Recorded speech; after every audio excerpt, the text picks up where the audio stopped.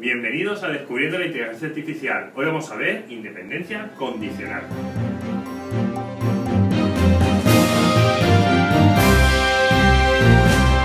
Bien, recapitulemos un poco. Eh, primero, bueno, los primeros vídeos sobre probabilidad estuvimos viendo la probabilidad a priori, ¿de acuerdo? Luego estuvimos viendo la probabilidad condicionada y todas las, propiedades y demás que tenían. En el siguiente vídeo vimos, en el último vídeo realmente, vimos eh, bueno, pues una de las reglas más importantes que va a existir dentro del tratamiento de la incertidumbre eh, dentro de la inteligencia artificial, que es la regla de Bayes, ¿de acuerdo? Es una regla muy importante dentro de la probabilidad eh, a nivel matemático y, bueno, pues dentro de la, de la bueno, pues redes bayesianas, dentro de los modelos ocultos de Markov, dentro de, bueno, pues muchos, muchos algoritmos, pues es la base de esos algoritmos, ¿de acuerdo? ¿Qué ocurre? Bueno, pues que eh, ocurría que, mm, tal y como aventurábamos en el último vídeo, tiene unas propiedades, bueno, que vimos que eran sencillas y demás, pero tiene una propiedad que decíamos que era la eh, independencia condicional. Bueno, ¿qué queríamos decir con esto de independencia condicional? Bueno, pues queríamos decir que realmente cuando nosotros calculábamos, y luego lo veremos, calculábamos, eh, aplicábamos la regla de Bayes a, problemas más complejos en el cual no solamente teníamos un par de, de variables, por así decirlo, no teníamos solamente A y B, si tenemos más variables, bueno, pues se convertía en un problema inmanejable. Si el problema en el cual nosotros estamos, con el cual nosotros estamos trabajando tiene la propiedad de independencia condicional, bueno, el problema se soluciona, bueno, mejor dicho, se, se, se reduce la complejidad de ese problema muchísimo, ¿de acuerdo? Ya, ahora lo vamos a ver. Entonces, bueno, lo primero que tenemos que ver eh, es la propiedad de independencia, y por ahí vamos a empezar, ¿de acuerdo? En definitiva, eh, independencia, o también llamada independencia marginal o independencia absoluta, ¿de acuerdo? Más o menos se puede utilizar esos tres nombres, bueno, pues viene a decir que si dos, dos eventos A y B son independientes entre sí, entonces la probabilidad condicional se reduce muchísimo. ¿Por qué?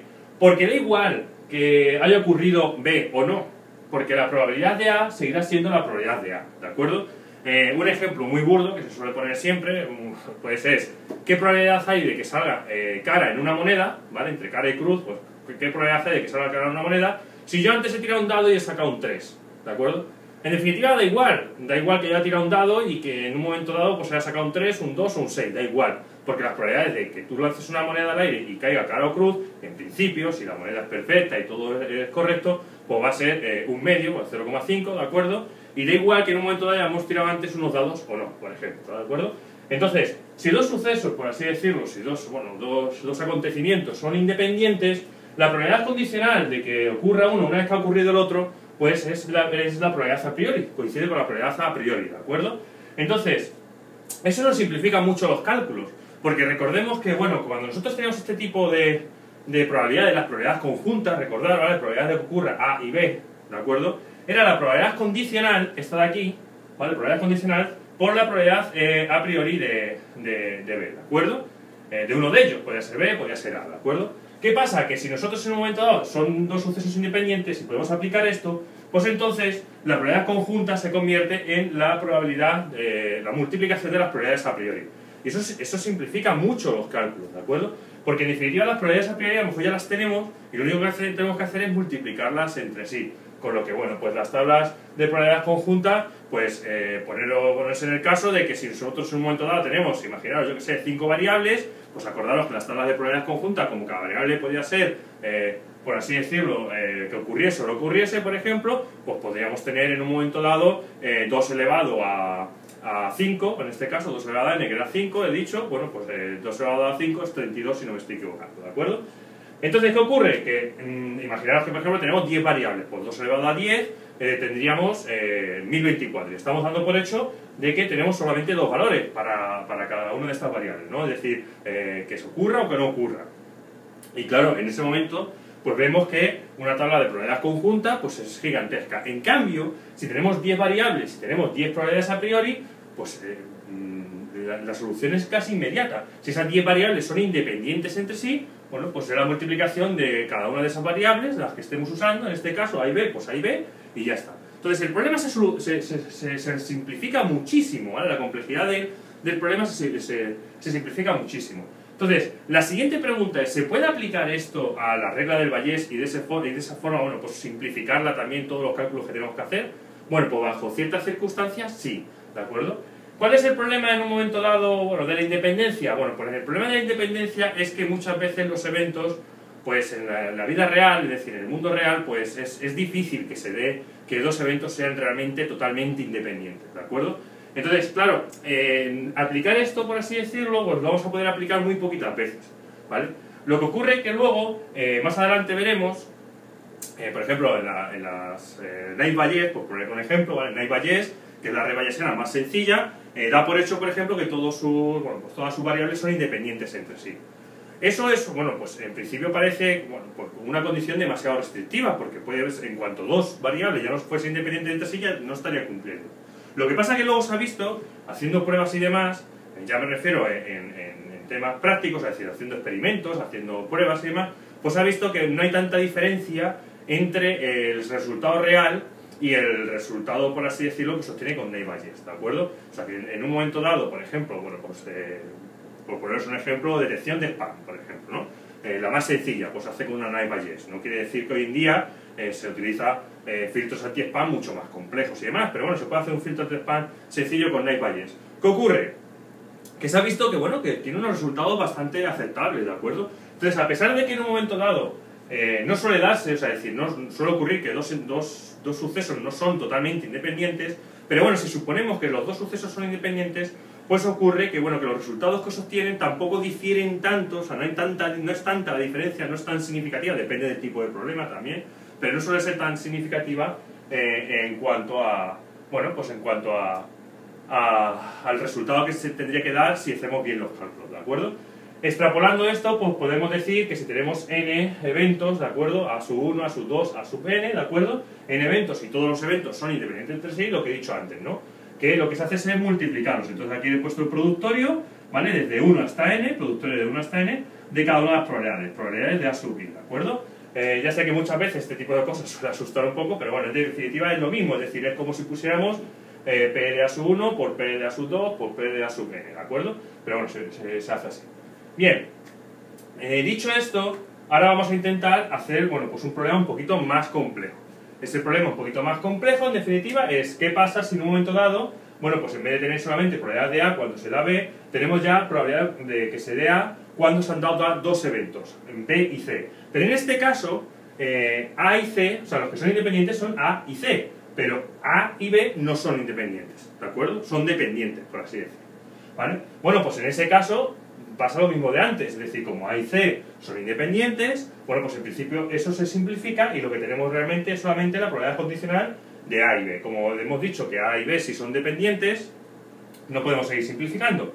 Pero el hecho de que en un momento dado eh, podamos aplicar esto puede hacer que si nosotros en un momento dado tenemos probabilidades complejas, imaginar en vez de B y C tenemos un montón de ellas, ¿vale? B, C, D, los que sean, bueno, pues todas las que sean independientes de A las podemos, por así decirlo, eliminar y simplificarlo dejando solamente aquellas variables que sean dependientes, ¿de acuerdo? De, A. Bueno, pues aplicando eso, bueno, eh, vamos a poder simplificar mucho, ya esto vamos, por así decirlo, a poder usarlo, por ejemplo, en la regla eh, de Bayes, y vamos a poder simplificar bastante los problemas, ¿de acuerdo? De todas formas, estos son las bases, es decir, luego ya en los problemas del mundo real, pues las cosas no son tan sencillas, pero bueno, como base, pues ya eh, pues es bastante interesante. Aquí abajo lo único que he puesto ha sido la demostración, ¿vale? Eh, de este caso, de, precisamente de este, ¿no? Siempre me gusta, bueno, aunque muchas veces, bueno, pues si no os interesa lo podéis pasar para todo lo que sea, pero bueno, siempre me gusta en un momento dado que veáis eh, de dónde vienen las cosas y por qué, o no solamente decirlo, sino bueno, pues ver un poco de, dónde, de dónde vienen las cosas y, por qué son así, ¿no? En definitiva, si nosotros aquí, en la probabilidad de A, cuando se ha dado B y C, aplicamos la regla de Bayes, bueno, pues eh, tenemos la probabilidad de C, por ejemplo, porque en un momento dado la que vamos a coger, porque es la que es independiente, ¿de acuerdo? La probabilidad de C cuando se ha dado A y B, por la probabilidad de A cuando se ha dado B, partido por la probabilidad de C cuando se ha dado B, ¿de acuerdo? Esto de aquí en definitiva es aplicar las reglas que hasta ahora hemos, hemos, hemos visto, ¿de acuerdo? en principio la regla de Bayes. Eh, ¿Qué ocurre? Bueno, pues en principio, como hemos dicho aquí, que A y B eh, o sea, A y C, perdón, son independientes, lo que hemos dicho antes, como se sigue cumpliendo, bueno, pues la probabilidad de, de, C, perdón, cuando se ha dado A y B, es lo mismo que la probabilidad de C cuando se ha dado B, ¿de acuerdo? Porque es el, es el, es el hecho del cual, eh, bueno, partimos, es decir, es el, es axioma, por así decirlo, que estamos intentando demostrar, pero al mismo tiempo lo damos por hecho, ¿no? Entonces, ¿qué ocurre? Que si nos damos cuenta, aparece la misma probabilidad arriba abajo. La probabilidad de C cuando se ha dado B aparece arriba abajo. La podemos simplificar y lo que nos queda es la probabilidad de A cuando se ha dado B. ¿De acuerdo? Entonces, en definitiva, vemos que, bueno, pues que, que es una propiedad que en un momento dado eh, nos puede simplificar bastante los cálculos. Entonces, ahora vamos a ver si se puede aplicar a la regla de Bayes y cómo se puede aplicar para simplificar los cálculos. ¿De acuerdo? Una vez visto la propiedad de independencia, ahora vamos a ir a la de independencia condicional, ¿de acuerdo? La independencia condicional se, se da, por así decirlo, dentro de, bueno, pues lo más interesante es dentro de la regla de Bayes. Porque de esa forma, como decía antes, pues podemos eh, pues solucionar los problemas de una manera mucho más rápida, ¿de acuerdo? Eh, vamos a tener que hacer mucho menos cálculos y, recopilar mucho menos información. Bien, eh, ¿qué es lo que decíamos? Lo que decíamos antes, ¿no? Bueno, en este, antes decíamos que si A y C eran independientes, da igual. Ahora decimos que A y B son independientes, ¿de acuerdo? Entonces la probabilidad de que se dé A cuando se ha dado B y C es la probabilidad de, que se dé A cuando se ha dado C, ¿de acuerdo? Bueno, pues en base a eso podemos hacer lo siguiente. Eh, si nosotros en un momento dado queremos calcular la probabilidad de que se dé A y B cuando se ha dado C, ¿vale? Como A y B son independientes entre sí, pues entonces eh, acordaros en un momento dado cuando decíamos antes eh, que la probabilidad de A y B, no cuando se va a hacer, sino la probabilidad de que se dé A y B, la probabilidad conjunta era la probabilidad de A por la probabilidad de B.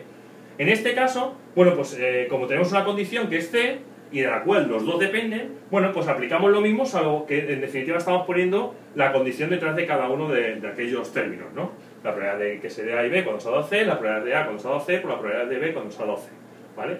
En definitiva, si os dais cuenta, bueno, pues un poco eh, ya, ya, estamos eh, encaminándonos hacia bueno, pues un proceso en el cual nos puede simplificar mucho las cosas en el cálculo de la, eh, el cálculo de la, de la, regla de Valle, ¿de acuerdo? Si lo, si lo en un momento dado lo, extrapolamos perdón, a, n variables, tener en cuenta que aquí lo que estamos haciendo es que todas estas variables, a sub 1, a sub 2, a sub n, ¿vale? son independientes entre sí, ¿de acuerdo? Y entonces, ¿cuál es la probabilidad de que se dé todas ellas cuando eh, se ha dado otro, otro evento que es B, del cual todas dependen, ¿de acuerdo? Bueno, por lo mismo que antes es el productorio, lo que pasa que antes teníamos solamente probabilidad de A sub I y ahora tenemos probabilidad de A sub I cuando se ha dado B. O sea, en definitiva, bueno, como veis, prácticamente tampoco es tan difícil. Lo que pasa que, bueno, que a veces al principio cuesta un poco, pero bueno, luego ya, eh, una vez que empiezas a hacer los cálculos, bueno, pues se, se aclara bastante bien. ¿Qué ocurre? Bueno, pues que si nos vamos aquí a la parte de lo que es en sí la probabilidad de la regla de Bayes, claro, si tú en un momento dado tuvieras que aplicar eh, esto, por así decirlo, si esto lo tuvieras que aplicar aquí dentro de la regla de Bayes, pues ocurre que, eh, claro, tú en un momento aquí tienes una probabilidad conjunta, entonces tendrías que calcular, por así decirlo, eh, tendrías que calcular todos los valores posibles de B, todos los valores posibles de C, la combinación entre ellos, y una vez que tenemos todas las combinaciones entre ellos, pues calcular lo que es A, ¿de acuerdo? para cada uno de ellos, para cada una de esas combinaciones, ¿de acuerdo? Entonces, eso, por eso es lo que yo decía antes, que se convierte en un problema intratable. Antes me refiero al vídeo anterior, ¿no? Se convierte en un, en un, problema intratable, porque es de tipo exponencial. Si B y C son, mm, por ejemplo, tienen dos valores cada uno, pues estamos hablando de 2 por 2 son 4 valores. Pero imaginaos que en vez de B y C tenemos, eh, eh, pues yo qué sé, 5 eh, variables y cada variable pues tiene 10 valores posibles. Pues estamos hablando de 10 elevado a 5, ¿de acuerdo? Pues 10 por 10 por 10, entonces 10 elevado a 5, si no me equivoco, pues son eh, 100.000, ¿de acuerdo? Entonces tendríamos una tabla con 100.000 filas y en cada una de ellas tendríamos que calcular la probabilidad de que se dé A para cada una de ellas, ¿no? Eh, en principio podéis decir, bueno, pues en un momento dado, bueno, pues se pone un programa informático como que empieza a calcularlo y que te calcule todo eso. Pero no es real, eso no es real. ¿Por qué? Porque en realidad lo que se suele hacer es que se suele recopilar, esa información se suele recopilar de datos del mundo real. En definitiva, pues si son de enfermedades, pues coges datos del mundo médico, o si son en un momento de temas de industria, pues a lo mejor estás recopilando datos de, yo que sé, a lo mejor de incidencias o de temas de, de, las piezas o lo que sea, una fábrica, por ejemplo, lo que sea. ¿Qué ocurre? Que muchas veces eh, eh, esas combinaciones, pues no se dan, ¿de acuerdo? No se dan en la, en la vida real. O se suelen dar tan poco, tan poco, que tampoco podemos calcular unas, eh, bueno, pues una, por así decirlo, poder obtener una, una, una probabilidad significativa. Porque imaginaos que en un momento dado eh, no se da en el mundo real, por lo que sea, porque nosotros estamos recopilando datos y hemos recopilado un montón de ellos, pero en, ese conjunto de datos no aparece, bueno, pues no podemos decir nada.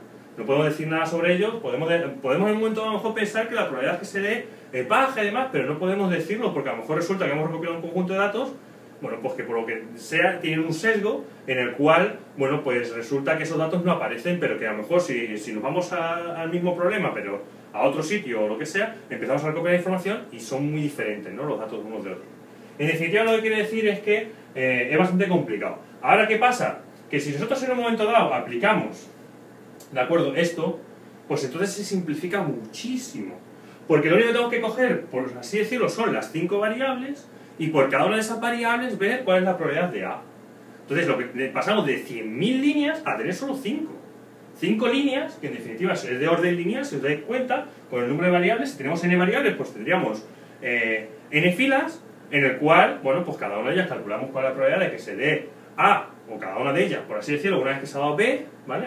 Cada, cada A sub B cuando se ha dado B, y ya está. Y lo único que tenemos que hacer luego es multiplicar. Entonces, aplicándolo, aplicándolo, bueno, pues a, lo que hemos visto hasta ahora, ¿vale? Bueno, pues eh, ya no tenemos, por así decirlo, la probabilidad em, de que se dé B y C cuando da A, ¿vale? Sino que eso lo podemos desglosar, es decir, esto de aquí es lo que iría aquí. ¿Por qué? Porque lo que decíamos con el tema del bañez, ¿no? Que se da la vuelta a esto de aquí, ¿vale? Recordarlo. Entonces, ¿qué pasa? Que al hacer esto, bueno, pues hemos simplificado mucho, porque estos datos los tenemos relativamente fácil de calcular. Y ya lo único que tenemos que multiplicar es esto por esto, por la probabilidad de que se dé eh, A, claro está, porque recordad que tenemos que eh, multiplicarlo por la probabilidad a priori, y luego dividirlo ya no por la probabilidad de que se dé, eh, por así decirlo, mm, B cuando ha dado C por la probabilidad de C y esas cosas, ¿no? Sino que ya como son independientes, bueno, pues podemos multiplicar la probabilidad de B por la probabilidad de C, ¿de acuerdo? Entonces, porque son independientes, ¿de acuerdo? Entonces, en definitiva, los cálculos se han simplificado un montón se han simplificado un montón. Imaginaos en un momento dado, estos cálculos en un momento dado, si, si estamos hablando de probabilidades marginales, si tuviéramos que tener en cuenta, pues dentro de B, aparte de tener en cuenta A, tendríamos que tener en cuenta en cuenta C. ¿Vale? Entonces eh, tendríamos un montón de multiplicaciones y sumas, si lo hacéis si empezáis a hacerlo, bueno, pues os daréis cuenta. ¿Por qué? Porque dentro de las probabilidades marginales no solamente hay que tener en cuenta las variables que, eh, bueno, pues en este caso la A, que es lo que hemos visto hasta ahora, ¿no? La probabilidad de A cuando se da B y tal, sino que si tenemos más variables hay que tener también en cuenta. Entonces tenemos que hacer el sumatorio de todos esos valores. Entonces, bueno, no quería entrar mucho en, detalles porque como estamos todavía en un, tema introductorio, por así decirlo, y aparte, bueno, no me puedo detener en exceso en esto, en probabilidad yo os aconsejo que, que siempre, como siempre, esto es una, como quien dice, un resumen, una introducción, pero siempre os, os animo a que, a que bueno, pues a, eh, compréis un buen libro sobre probabilidad, sobre estadística y demás, que, que, os ayude a comprender todo esto, ¿de acuerdo? Pero bueno, estoy haciendo esto un poco en plan resumen, ¿de acuerdo? Entonces, en definitiva, lo que quiero decir es que lo importante de ver aquí es que esto simplifica muchísimo, muchísimo eh, los cálculos, ¿de acuerdo? Pues aquí, bueno, vengo a, enseñaros un poco, a resumir un poco, lo he puesto todo en una diapositiva, eh, todo lo que hemos estado contando sobre, primero, la regla de Bayes que vimos el último día, más la, independencia condicional y cómo, bueno, cómo afecta la regla de Bayes y cómo eh, bueno, pues todo cambia bastante, ¿de acuerdo? Entonces aquí empezamos, bueno, pues por lo que es la, regla de Bayes que vimos en el último vídeo, ¿de acuerdo? Simplemente es la, regla que ya conocemos. ¿Qué ocurre? Que imaginaos que en un momento dado, bueno, pues aparte de tener que A dependa de, B, por así decirlo, es decir, que para calcular la probabilidad de, de, A, una vez que ya se ha dado B, ¿de acuerdo? Pues en vez de tener solo B, tenemos otra variable más, B y C, ¿vale? Eh, ¿Qué ocurre? Bueno, pues que todo se complica un poquito más, ¿no? Es decir, aquí en un momento dado lo que tenemos que hacer es añadir C en cada uno de los, de los de las probabilidades, ¿vale? entonces, aquí en este caso, pues la probabilidad de B cuando se ha dado A, A y C, ¿de acuerdo? Que es en este caso aquí, por la probabilidad de que se dé A cuando ya se ha dado C, porque es lo que tenemos aquí, ¿vale? La probabilidad de A cuando se ha dado de A C, partido por la probabilidad de B cuando se ha dado C, ¿de acuerdo? ¿Qué ocurre? ¿De dónde viene un poco todo esto? Bueno, pues viene un poco, pues si lo vemos, viene de aquí. Si en un momento dado nosotros quitamos C de aquí, pues lo que tenemos es eh, lo que vimos el último día, la probabilidad conjunta es igual a la probabilidad condicional por la probabilidad eh, marginal, ¿de acuerdo? ¿Qué pasa? Que en un momento dado, bueno, pues añadimos C, nos sale todo esto. En definitiva, lo que hacemos igual que el otro día, igualamos estos dos términos, entonces tenemos que esto es igual a esto, y pasando uno debajo del otro, ¿de acuerdo? Pues no, tendríamos esta, esta, esta fórmula, ¿de acuerdo? De la regla de Bayes. Aquí, en un momento dado, eh, podemos ya apreciar cuál es el problema que ocurre porque es de tipo eh, eh, intratable, porque se convierte en un problema de tipo de orden exponencial. Y es por esto. Es por esto, ¿por qué? Porque en un momento dado empezamos a tener eh, otra vez probabilidades conjuntas. Y recordemos que las tablas de probabilidades conjuntas pues crecen de orden exponencial. Es decir, tendríamos que calcular eh, cuáles son todos los valores posibles de A, tendríamos que ver cuáles son todos los posibles valores de C, mm, ver todas las posibles combinaciones entre todos esos valores y en un momento dado, pues eso tendríamos una tabla en la cual tendríamos una fila por cada uno de esos combinaciones de valores y luego calcular las probabilidades de que se dé por cada una de esas filas, ¿no? Como decíamos antes, por ejemplo, bueno, pues la probabilidad de si, por ejemplo, A tiene 10 valores, C tiene 10 valores, pues tendríamos 10 por 10 son 100 combinaciones posibles, 100 filas, que en un momento dado pues tenemos que calcular la probabilidad de B para cada una de esas combinaciones, pero claro, puede darse pues que sea muy difícil en un momento dado, pues, a lo mejor eh, obtener la información de ciertos valores, porque a lo mejor en el mundo real no se da eh, pues ciertos valores, ciertas combinaciones de A y C, pues no se den, y entonces tenemos un problema. ¿de acuerdo? Porque incluso ni siquiera de, de, los datos que podemos obtener del mundo real podemos obtener la probabilidad de ciertas combinaciones y demás, ¿no? Entonces, frente a esos problemas, aunque las podamos obtener, pues se convierte en un problema bastante complejo, bueno, pues en vez de tener dos variables, pues tenemos cinco o diez variables, que en un problema del mundo real pues es bastante fácil, ¿de acuerdo? Cualquier red bayesiana puede tener a lo mejor 10, 15, 20 variables diferentes, pues imaginaros, si cada una tiene dos valores, solamente dos valores, pues 2 elevado a 10, pues ya son 1024, pero es que 2 elevado a 20 es un número mm, gigantesco, ¿de acuerdo? Entonces, ¿qué ocurre? Que, claro, pues eso no... Ese es el principal escollo, ese es el principal problema que teníamos cuando empezamos a tratar con, eh, con probabilidades, ¿de acuerdo? en los años 60 y 70, pues se vio que, claro, que si tú quieres tratar la incertidumbre con la probabilidad, pues se ocurría que, claro, que, que, aquello pues, se volviera un problema, un problema de tipo intratable, de orden eh, eh, de complejidad eh, exponencial, tanto en espacio como en tiempo. Entonces resulta que por eso se abandonó un poco esta vía. se abandonó el uso de la probabilidad para, o sea, para algunos problemas muy pequeños, pues abandonó el uso de la probabilidad pues para tratar la incertidumbre. ¿Qué pasó? Pues pasó que al, aparecer la independencia condicional y al poderse aplicar la independencia condicional, pues todo cambió de la noche a la mañana, ¿de acuerdo? ¿Por qué? Porque básicamente, ahora lo veremos, la reducción que se produce en el orden de complejidad es de tipo exponencial a tipo lineal. ¿de acuerdo? O sea, ni siquiera polinómico, sino lineal, ¿de acuerdo? ¿Qué ocurre? Que claro, es que eso en un momento dado, o sea, eso es en el mejor de los casos, claro está, es decir, que todas las variables sean eh, independientes entre sí. Claro, si nosotros podemos hacer esa suposición, igual que por ejemplo en Naive-Bayes se puede hacer, bueno, pues los cálculos se reducen muchísimo. Porque si tú tienes, por ejemplo, 10 variables, pues en definitiva lo que tienes que calcular es la probabilidad de que se dé A eh, bueno, cada una de esas variables cuando, cuando salga la otra, ¿no? Es decir, la probabilidad de que se, en este caso, por ejemplo, la probabilidad de que se dé B cuando salga A por la probabilidad de C cuando salga A, etcétera, etcétera. Es decir, en definitiva lo que tenemos es una tabla, ya no de probabilidades conjuntas, sino que tenemos una tabla en la que cada línea es una de esas variables y en definitiva lo que calculamos es pues la, la, variable que es, en un momento dado dependiente, bueno, pues ver cuáles son los, los posibles valores, ¿de acuerdo? Entonces, si en un momento dado tenemos, por ejemplo, eh, como digo, 10 variables, pues para esas 10 variables vemos eh, por, la probabilidad de que se dé eh, A para la primera, la probabilidad de que se dé A para la segunda, la probabilidad de que se dé A para la tercera. Si es en este caso, por ejemplo, en el caso de aquí, pues tenemos que ver la probabilidad de que se dé A cuando se ha dado B, la probabilidad de que se dé A cuando se ha dado C, ¿no? O, si aplicamos la regla de Valle, bueno, pues en este caso la probabilidad de que se dé B cuando se ha dado A y B cuando se ha dado C, ¿de acuerdo? Entonces, ¿qué pasa?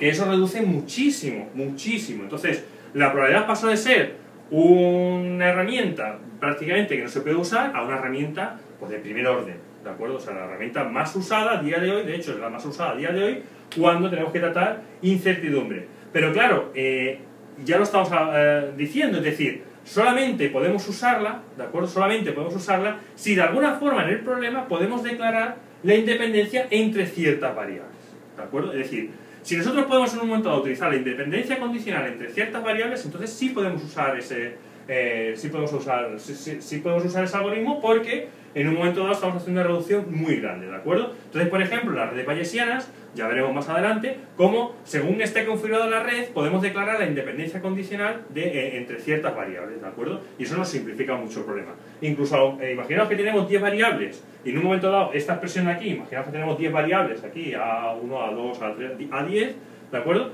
Pues imaginaos, aunque tengamos 10 variables, si logramos reducirla, a lo mejor no, mm, las 10 no son independientes entre sí, pero a lo mejor conseguimos que sean, por ejemplo, pues 5 independientes entre sí. Entonces, si tienen dos valores cada una, ¿vale? Pues estaremos haciendo una reducción de 2 elevado a 10, 1024, a 2 elevado a 5, que son 32. Entonces, la reducción de 1024 a 32 es muy grande. O sea, la reducción sigue siendo, aunque sigue siendo exponencial, pero es, es grandísimo, ¿de acuerdo?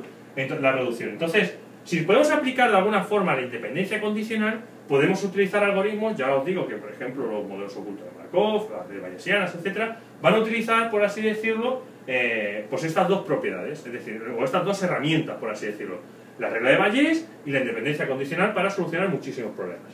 Bien, si podemos aplicar la, independencia condicional, este problema se eh, simplifica de la siguiente forma, ¿de acuerdo? Eh, la probabilidad de que se dé A cuando se ha dado B y C es igual a la probabilidad de que se dé B y C cuando se ha dado A. ¿De acuerdo? O sea, aquí es lo que iría aquí arriba, ¿vale? Por la probabilidad de A, ¿vale? Que estaría aquí. Pero como tenemos que B y C son independientes entre sí, recordemos la diapositiva anterior, la probabilidad de que se dé B y C cuando dado A es eh, la probabilidad de B cuando dado A por la probabilidad de C cuando dado A. ¿De acuerdo? Entonces, claro, ahora ya ha desaparecido, ya no tenemos probabilidades conjuntas. Lo que tenemos son unas probabilidades que lo único que tenemos que hacer es, bueno, pues tenemos A, que solamente es una variable, ¿vale? Y lo que tenemos que obtener es qué probabilidades hay de que ocurra B cuando ocurrió A y qué probabilidades hay de que ocurra C cuando ha ocurrido A. Pero sin tener en cuenta, es decir, en B no tenemos en cuenta C y en C eh, tenemos en cuenta B.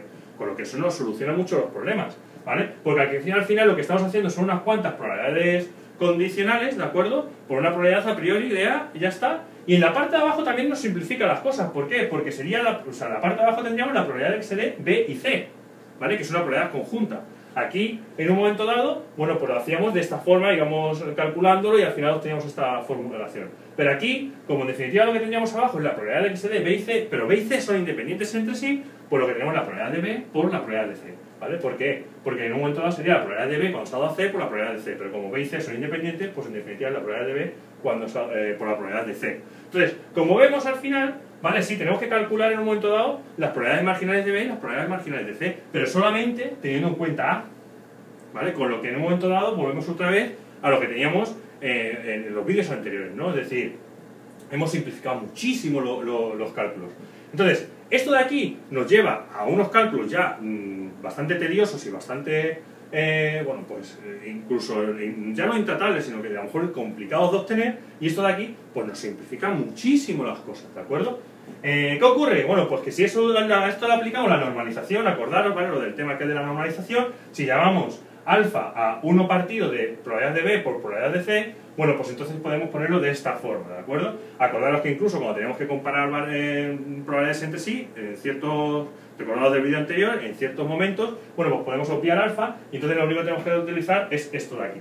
De hecho, por ejemplo, en, en Night por, poner un ejemplo, si lo único que tenemos que calcular es, bueno, comparar probabilidades entre sí, ¿vale? Lo que estamos haciendo es comparando probabilidades entre sí, bueno, pues eh, de hecho no tenemos en cuenta alfa, sino simplemente tenemos en cuenta esto de aquí.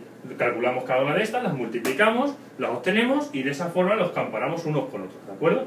Entonces, ¿qué ocurre? Que, bueno, pues los cálculos vuelven otra vez a simplificarse. Vuelven otra vez a simplificarse porque lo que estoy diciendo, si incluso en un momento dado, eh, si lo único que tenemos que hacer es comparar, no tenemos que hacer estos cálculos, pues todavía incluso se simplifican bastante. ¿De acuerdo? En definitiva, bueno, aquí lo único que he puesto es que si ah, tenemos que calcular la probabilidad de A cuando eh, en vez de dos variables, eh, de n variables, las que sean, 1, 2, hasta n, que son todas independientes entre sí, es decir, las b sub n, por así decirlo, las b sub i, b sub 1, b sub 2, b sub n, son independientes entre sí, entonces, bueno, pues simplemente sería igual a alfa, eso sigue siendo igual, por la probabilidad a priori de A, por el productorio, ¿vale? De lo que, es, pues lo que vemos aquí, pero llevado aquí, es decir, el productorio desde 1 hasta n de la probabilidad de que se por cada una de las b sub i, ¿de acuerdo? Porque las b sub i entre sí son independientes. Esto y esto, por así decirlo, es la base de Night Valles, y lo vamos a ver en el, en el vídeo cuando veamos Night Valles, ¿de acuerdo? Pero en definitiva lo que quiero, sobre todo lo que os, quiero que quede claro, porque en definitiva estamos viendo un resumen de la probabilidad. Yo no, de hecho no estoy adentrándome eh, no estoy haciendo grandes ejemplos, ni estoy entrando demasiado en la probabilidad, porque doy por hecho que tenéis que, o sea, decir, si, queréis, si, si no lo controláis bien, si no lo conocéis bien y demás, eh, tenéis que, es mejor que cojáis libros de probabilidad, de estadística y demás, y le echéis unos vistazos, intentéis razonarlo por vosotros mismos, eh, hagáis unos cuantos ejercicios, por no decir un montón de ejercicios, y ver si de esa forma, bueno, pues lo vais comprendiendo bien, porque es que lo necesitáis. Yo estoy haciendo esto un poco en plan resumen, porque incluso mucha gente, bueno, pues ya lo conocerá, y bueno, pues, también por recordárselo un poco y demás. Pero ya os digo que bueno, que, que lo que me interesa sobre todo eh, a estas alturas es, es, que os quedéis con esa idea que de verdad que es, que es la más importante. Eh, para el tratamiento, de la incertidumbre con la probabilidad, nos pasamos en dos principios, dos herramientas muy importantes. La regla de Bayes y la independencia condicional. Eso van a ser las dos cosas que nos van a permitir trabajar con la incertidumbre mediante la probabilidad. Entonces, por eso digo que bueno, que es muy importante que, que lo conozcáis bien, ¿de acuerdo? Y que ya veréis que en todos los algoritmos, vamos a verlo, en todos los algoritmos se van a utilizar antes o después, pues ambas cosas. Entonces, os recomiendo de verdad que si, si no lo comprendéis bien, de verdad, me gustaría poder tener más en todo esto, pero eh, tengo que avanzar. Entonces, eh, si tenéis dudas, bueno, yo os en un momento dado, si queréis, incluso os recomiendo algún libro, a ver si me traigo uno de los libros de los que yo tengo para que los veáis. Os recomiendo que en un momento dado bueno, pues veáis vídeos en internet, en YouTube, o veáis documentación, porque eh, de verdad es importante, es importante porque a día de hoy eh, es toda una rama de la inteligencia artificial que, que, ha cobrado una importancia grandísima, ¿de acuerdo? Así que bueno, ya sabéis. Y por hoy es todo. Ya os dije que, bueno, que dentro de lo que eran eh, las propiedades de la regla de Bayes, bueno, pues había una de ellas que se podía aplicar, que era la independencia condicional, que era bastante importante y por eso, bueno, pues en vez de verla en el vídeo anterior para que no se hiciese demasiado largo, pues lo hemos visto hoy aquí. Lo que a partir de ahora, bueno, hemos visto lo que son las bases de la probabilidad, es decir, en plan resumen, las bases de, las herramientas que vamos a utilizar, eh, lo de siempre, tenéis que conocer bien lo que es la probabilidad a priori, ¿vale? No confundirla sobre todo con la probabilidad marginal, lo que es probabilidad a priori, saber cuáles son sus propiedades, las más básicas, sus axiomas, ¿de acuerdo? Eso pues son, también se utilizan, entonces son bastante sencillos, pero tenéis que saberlo bien y cómo aplicarlos. Luego hemos visto la probabilidad condicional, en la cual también hemos visto sus propiedades y demás. La probabilidad condicional, pues también está, por así decirlo, en el, en el corazón de todo esto, entonces tenéis que también manejarlo bien. De ahí hemos pasado, por así decirlo, a la regla de Bayes, que es una de las herramientas básicas para prácticamente todos los algoritmos del tratamiento de incertidumbre con probabilidad dentro de la inteligencia artificial. Y por último, la herramienta más importante, o por así decirlo, la condición más importante que vamos a tener que aplicar en todos los algoritmos, en todos los problemas, que es el de la independencia condicional, ¿de acuerdo? Entonces, estas cuatro cosas son las que de verdad tenéis que mm, conocer bien para poder eh, entender perfectamente los algoritmos, ¿de acuerdo? Entonces, bueno, en el siguiente vídeo, en los siguientes vídeos, creo que voy a hacerlo en varios vídeos, voy a hacer un pequeño resumen de aquellos conceptos de la estadística, de estadística, porque en inteligencia artificial también se usan, ¿de acuerdo? Eh, ciertos conceptos de estadística y distribuciones de probabilidad y demás, que son importantes, ¿de acuerdo? Entonces, bueno, por lo menos también en plan resumen, eh, aunque algunos de ellos son bastante complejos, y ahí sí que os recomiendo que os, remitáis a algún libro bueno, pero por lo menos las cuatro o cinco cosillas más importantes, pues las vamos a intentar ver en, en, una serie de vídeos, no, no, quiero detenerme tampoco mucho porque me interesa más adentrarnos ya en lo que son los algoritmos, que es lo interesante en definitiva. Bueno, pues eso, echarle un vistazo y entonces yo simplemente lo que voy a hacer va a ser una especie de resumen de, las cosas de estadística que deberíais de saber, ¿de acuerdo? Lo que es una media, lo que es una varianza, lo que es una desviación típica, etcétera, etcétera, para que en un momento dado, bueno, pues cuando analizamos ciertos problemas, pues sepáis sobre todo la distribución normal, lo que es una distribución normal y demás, bueno, pues sepáis a qué me estoy refiriendo, por lo menos, ¿de acuerdo? Si por lo menos no tenéis muchos conocimientos de ellos, por lo menos una introducción que os pueda guiar, ¿de acuerdo? Entonces, bueno, ya sabéis, simplemente si me gusta que participéis y colaboréis, eh, si os ha gustado el vídeo, ya sabéis, darle a me gusta, que siempre ayuda. Recordad suscribiros al canal. Eh, sigo con, creo que, bueno, de momento he cogido otra vez el ritmo de publicar tres vídeos cada semana, cada uno de un enfoque. Ya, espero poder continuar con este ritmo.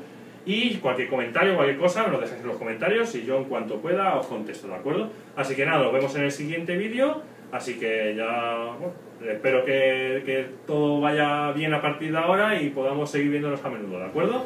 Hasta pronto.